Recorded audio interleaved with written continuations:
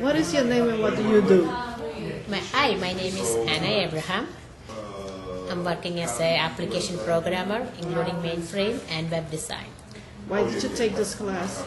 I already know for um, ColdFusion in web designing and a little bit Dreamweaver, but I want to expand my knowledge in more in web designing using Dreamweaver and Photoshop. That's why I took this class What did you expect to get out of the class? To become a good dis- uh, web programmer and good uh, program designer. But I learned it. I am good in right now. Did you reach your goal? Yes, I did. Would you be applying what you learn in the future? Yes, I'm still applying in my job. I'm creating a couple of websites for my job, and it's good. Thank you.